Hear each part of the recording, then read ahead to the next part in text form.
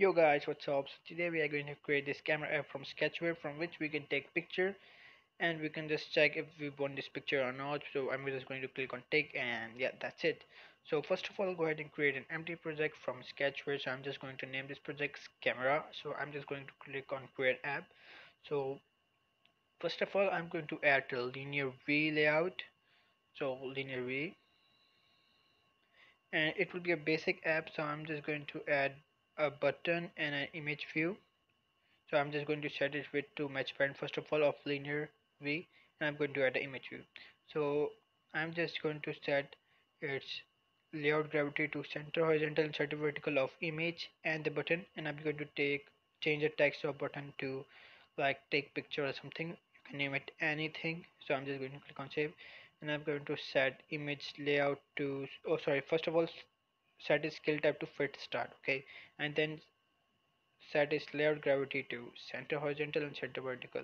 And now just click on save. So now go ahead and to component tab and add a component called camera. And you can name it anything. So I'm just going to name it camera. So just click on add and go to view and then click on button. Sorry events and then button okay? And I'm just going to add uh, sorry not this a component named camera on the component section. So add this and sorry. Just add this and set it to your camera okay? And that's it from here. Now save it and go to component and then click on camera and then click on, on picture taken. So from here I'm just going to view section and I'm going to add the image view. So from which we can just change the image. So it's over here somewhere so it's over here set image from file path. Set it to your image view and then add that file path over here. That's it. So there's another event called on picture fail I'm sure. On picture taken cancel.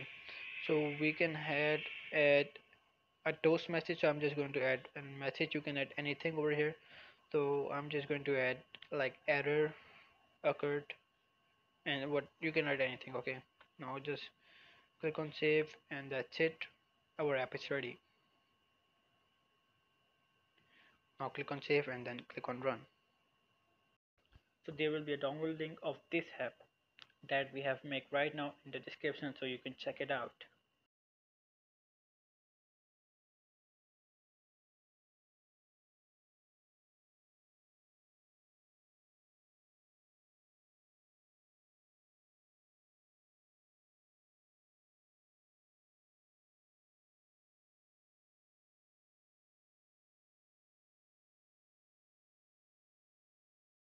our APK ready now click on install and once it's installed click on open.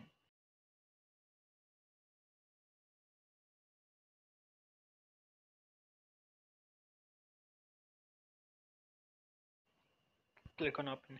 And when you will open this app for first time it will ask for permission. So just click on allow because we are using camera and click on allow so that camera can save picture. So now click on take picture and allow camera open so you can take any sort of picture so I'm just going to take my picture it is okay. So it's going to ask me if I would like this photo or not so I'm just going to click on take yes. And you can take another picture it will change this picture so I'm just going to show you another picture and thumbs up this video. Okay I'll take this picture and I'll just click on the tick arrow. And yeah it's working. So I hope you like this video. If you did make sure to subscribe to my channel turn notification on and bye against the wall, you had us body to body.